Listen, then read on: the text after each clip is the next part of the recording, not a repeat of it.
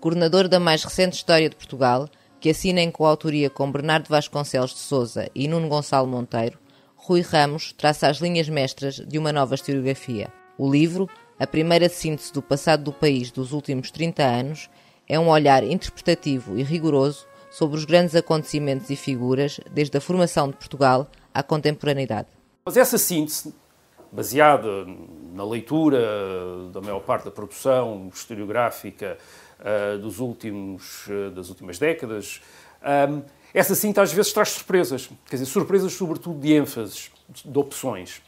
Uh, e creio que houve, talvez aqui, haverá para o leitor, penso, alguma surpresa, sobretudo para aquele que não acompanha a produção historiográfica universitária, mas creio que também para os, nós, enquanto autores, subitamente termos, uh, através de, do nosso trabalho de composição de uma narrativa assente na, nos trabalhos feitos pelos nossos colegas, termos às vezes nós próprios sido obrigados a olhar de uma maneira diferente para determinados momentos, para determinadas figuras, para determinadas uh, acontecimentos. Isto é, histórias que eram contadas de uma maneira e que nós ali de repente percebemos que tinham de ser contadas uh, de outra maneira.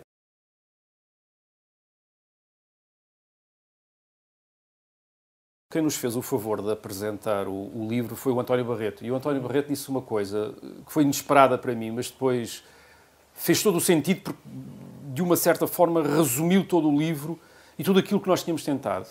Ele disse que este, eh, esta história de Portugal normalizava a história do nosso país. Uhum. Tornava uma história normal.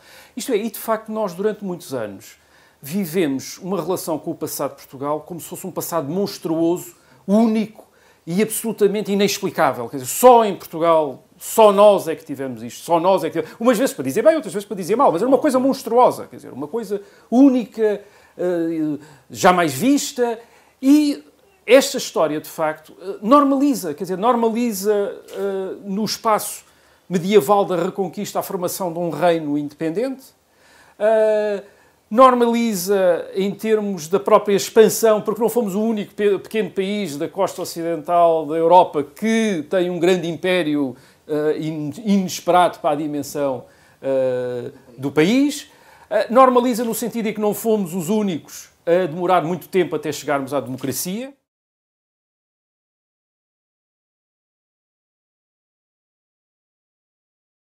Sociedade que durante uh, séculos uh, conseguiu sempre uh, viver acima dos, seu, acima dos recursos que tinha no seu território, devido também à capacidade que sempre teve de ir buscar, de uma maneira ou de outra, esses recursos lá fora. Ou imigrando, ou conquistando, ou explorando, enfim, houve essa capacidade sempre.